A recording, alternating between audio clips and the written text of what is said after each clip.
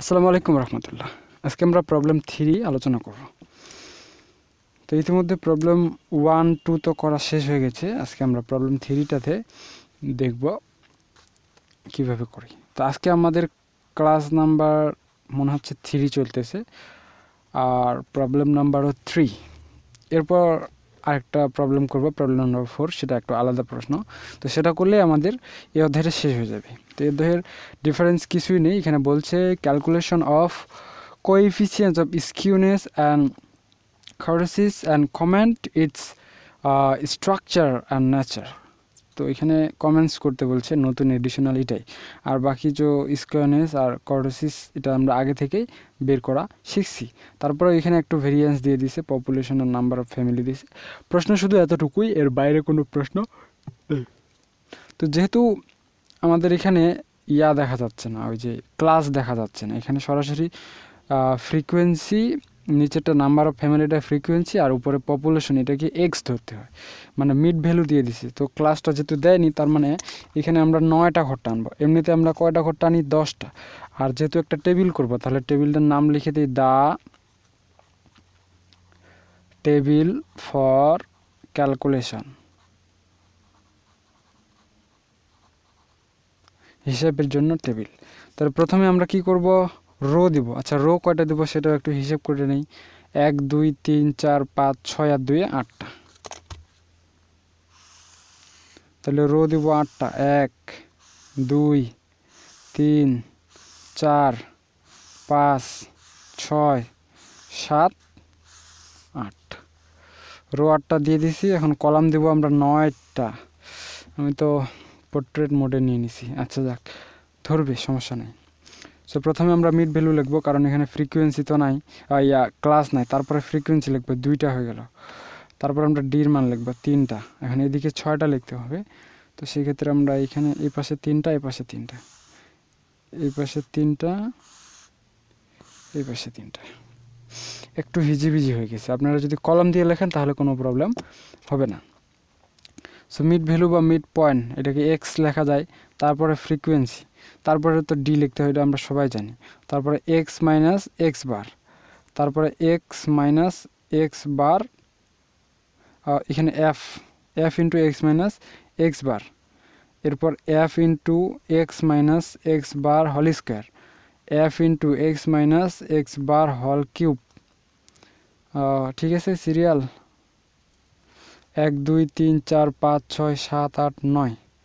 ঠিকই তো আছে আর এখানে একটা ইয়া ছাড়ে দিছি সরি তো এটা আমি শেষে লিখতেছি এখানে একটা ছাড়া গেছে মনে হচ্ছে আর এখানে F into x minus x bar হল পাওয়ার ফোর এফ ডিটা সামনে আসবে এই যে ডির পরে আসবে এখানে আমি টাইটেল দিতে ভুল করে ফেলছি আচ্ছা যাক তাহলে এখানে প্রশ্ন দেখে আমরা এক্স বার বা মিড ভ্যালুটা লিখি এখানে two three four five six seven এটাকে আমরা এক্স বার হিসেবে ধরবো কারণ এখানে আমাদের ক্লাসটা নাই তাহলে two three four five six seven এরপর ফ্রিকুয়েন্সি নাম্বার অফ ফ্যামিলি আড়াইশো তিনশো দশ চারশো দুইশো আড়াইশো তিনশো দশ চারশো দুইশো একশত বিশ আর আছে কত পঁচাত্তর সেভেন্টি ফাইভ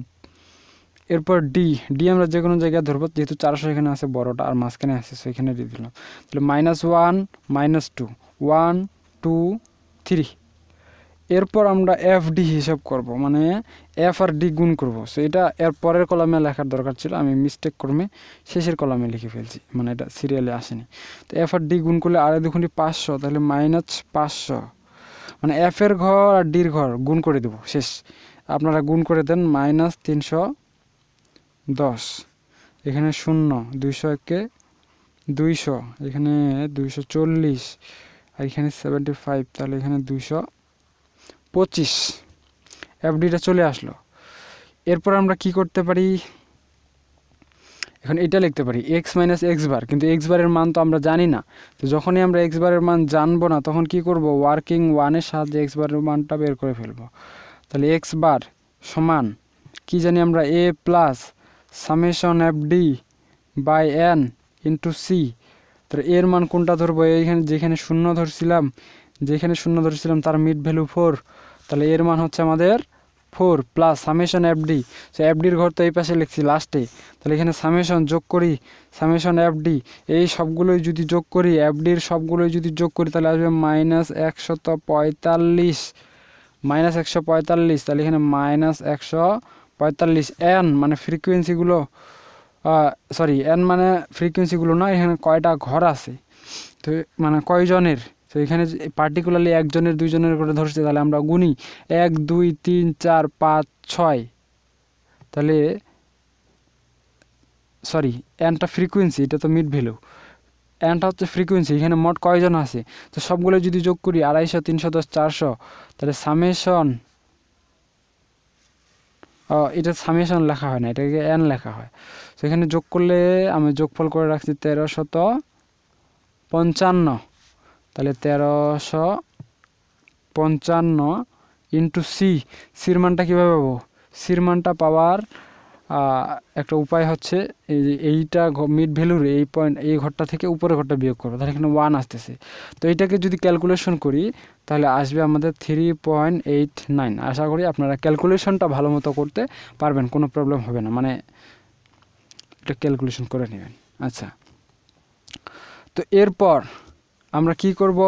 এক্স বারের মান পেয়ে গেছি কত থ্রি পয়েন্ট এইট নাইন এখন এক্স থেকে মানে এ টু থেকে আমরা থ্রি পয়েন্ট এইট নাইনটা বিয়োগ করব। টু থেকে এক্স বারের মানটা বিয়োগ করব। তো টু থেকে যদি এক্স বারের মানটা বের করি তাহলে আসবে minus one point eight nine এখানে ওয়ান পয়েন্ট এইট নাইন আসার কথা না কারণ এখানে ওয়ান পয়েন্ট ওয়ান ওয়ান আসার কথা টু থেকে যদি ও ঠিকই আছে ওয়ান পয়েন্ট এইট নাইনে আসবে ওয়ান পয়েন্ট এইট নাইন ঠিক আছে ওয়ান পয়েন্ট এইট নাইনই আসবে আরপর থ্রি থেকে যদি থ্রি পয়েন্ট এইট নাইন বিয়োগ করি তাহলে minus zero point eight nine আসবে ঠিক আছে তারপরে ফোর থেকে যদি বিয়োগ করি তাহলে প ওয়ান ফোর থেকে যদি থ্রি পয়েন্ট এইট নাইন বিয়োগ করি তাহলে পয়েন্ট ওয়ান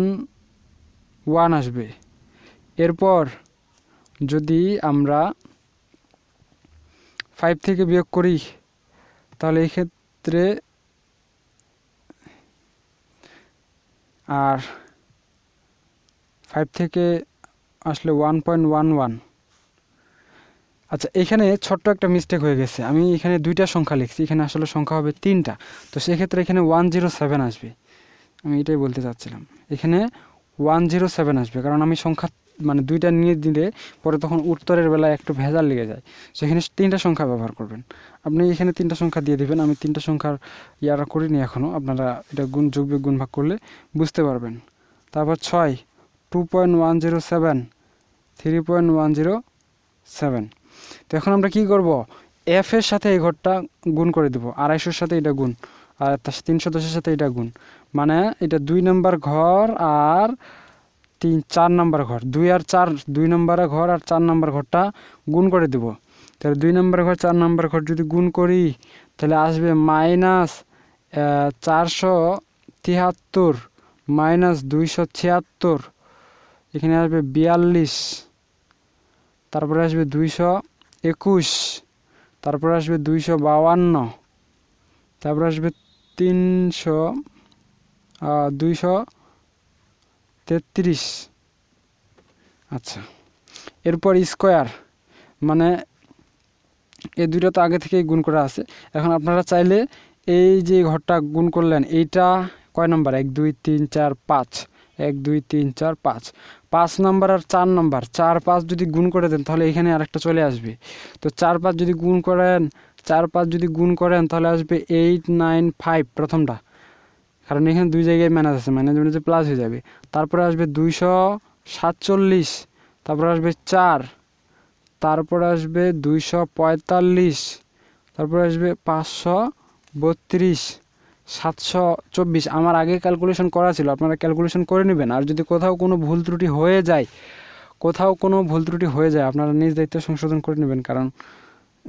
অঙ্কটা অনেক মানে ক্যালকুলেটিভ সো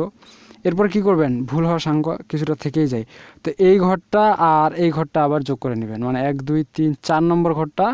আর যেটা করতেছেন তার আগেরটা গুণ করে নেবেন যোগ না এখানে মাইনাস ষোলোশো পঁচানব্বই তারপরে মাইনাস দুইশো বিশ তারপরে পয়েন্ট ফোর নাইন দুইশো একাত্তর তারপর আসবে এগারোশো বাইশ ক্যালকুলেশন করলে বাইশশো উনপঞ্চাশ এরপরেরটা এই চার নম্বর ঘরের সাথে এই আগের ঘরটা গুণ করে দিবেন যদি গুণ করেন তাহলে আসবে কত বত্রিশশো দশ একশো সাতানব্বই পয়েন্ট জিরো ফাইভ তিনশো তেইশশো পঁয়ষট্টি আর এখানে আসবে উনসত্তর সত্তর শত উনানব্বই তো এরপর আমরা এগুলো যোগ করব সো প্রথমটার মান summation F into x minus x bar এটা চোখ বন্ধ করে শূন্য দিয়ে দিবেন এটা শূন্যই হবে হান্ড্রেড পারসেন্ট এর কোনো বিকল্প নাই শূন্য না হলেও এটাকে শূন্য বানিয়ে দিতে হবে তারপর summation F into x minus x bar হল স্কোয়ার এটা যদি যোগ যোগ বিয়োগ করা যায় এই ঘরটা তাহলে সেক্ষেত্রে মান আসবে কত ছাব্বিশশো উনপঞ্চাশ এখানে summation F into x minus x bar এটা যদি যোগ বিয়োগ করি এই যে এইটা তাহলে আসবে সতেরোশো সাতাইশ এরপর summation F into x minus x bar এখানে হল পাওয়ার ফোর এটা যোগ বিয়োগ যদি করি তাহলে আসবে তেরো হাজার বাষট্টি তো আশা করা যায় আপনারা এতটুকু ক্লিয়ারলি বুঝতে পারছেন কোনো প্রবলেম হয়নি এরপর আমরা মুমেন্টস বের করব আর এগুলোকে মুমেন্টস বলা হয় আমরা পরবর্তী ক্লাসে দেখব তো মিউ ওয়ান অবশ্যই এর মান জিরো মিউ টু কীভাবে সূত্র দিতে হয় summation F X minus x bar by N এখানে দুই স্কোয়ার তো সমান এটার মান কত ছিল এখানে ছাব্বিশশো উনপঞ্চাশ স্কোয়ার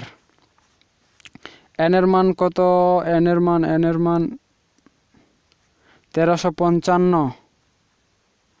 ক্যালকুলেশন করলে one point one nine five five three এরপর মিউ মিউ থ্রি মিউ থ্রিতে কী হবে summation F into x minus x bar হল পাওয়ার থ্রি বাই এন তো সেক্ষেত্রে এখানে মানটা চেঞ্জ হয়ে যাবে এখানে সতেরোশো সাতাইশ হল পাওয়ার থ্রি এন কত তেরোশো পঞ্চান্ন